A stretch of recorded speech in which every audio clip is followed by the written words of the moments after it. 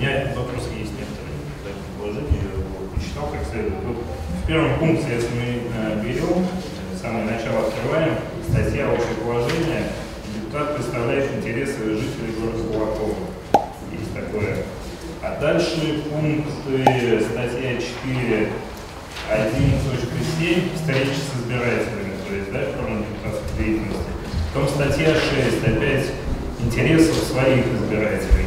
Может, мы слово избиратели вообще уберем и добавим туда жителей города, как у нас есть, У представляете? вас интересы избиратели вашего избирательного округа А вот э, смотрите, есть такая, как бы у нас избирание проходит тайное голосование, и никто не знает, кто за кого голосовал. Допустим, я знаю некоторых людей, которые голосовали против меня, то есть Правда?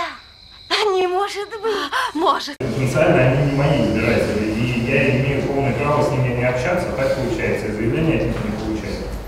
Но до этого дня вы просто блевотина. Низшая форма жизни на Земле. Вы вообще не люди. Всего лишь неорганизованная стая скользких, вонючих жаб. Я думаю, что избиратели это те люди, которые принимали участие в голосовании, а не те, которые выбирали именно вас. Вот опять же у нас э, в выборах участвовало 25%, то есть 75% мы имеем права просто игнорировать. Das ist deutschen Soldaten! Das ist russisches Schwein!